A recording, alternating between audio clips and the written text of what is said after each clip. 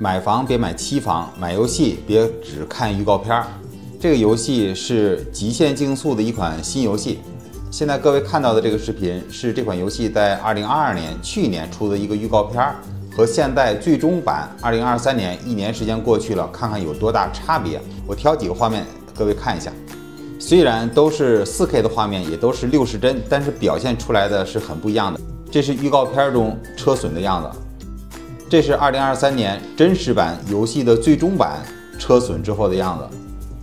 如果一个一个看，我觉得差不多。但是这么来看，对比着来看，我更喜欢看去年二零二二年的那个样子，因为那个比较真实。右侧这个也很清晰，但是不如左侧这个感觉更真实。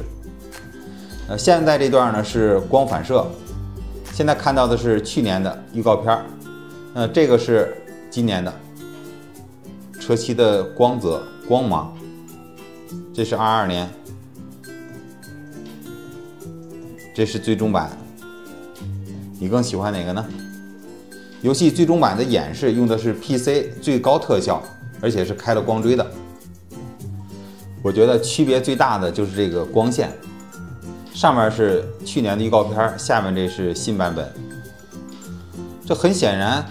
左侧预告片中是有光泽的，是有光线的。右侧的夜晚是纯黑的，漆黑一片呢，这就差的有点太多了。这是去年的预告片，看着光影很漂亮，夜景很漂亮，还有烟花。到了二三年，一片漆黑，这个有点太搞笑了啊。这段也挺有意思，这是预告片的路旁边的草，那么真实。这是最终版的，草花都没了，只有几棵，这区别也太大了。左侧这像真实的，像照片里的场景，右侧这感觉是没做完啊。这段看的也是植物，现在是预告片的植物，这是最终版的植物。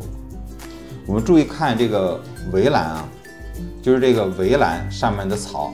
现在最终版上面草就这么几棵，这是预告片的草，看这有草，这有草，密的、疏的、大的、小的。现在到正式版里边都没了，除了落叶，这个围栏就几棵草。这个草是要靠运算的。很显然，左侧的画面更真实，右侧光秃秃。虽然很清晰、很锐利，但是没左边看的舒服、看的真实。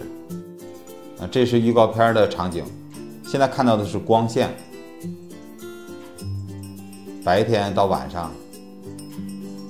现在是最终版，左侧的那些烟雾也没了，左侧特有这种景深的感觉，右侧感觉是平铺直叙的。这款游戏首发入了 XGP，有 PC 或者 Xbox 的同学可以在十月十号就可以玩到了。好，以上就是本次视频全部内容，你们怎么看呢？欢迎写到评论区。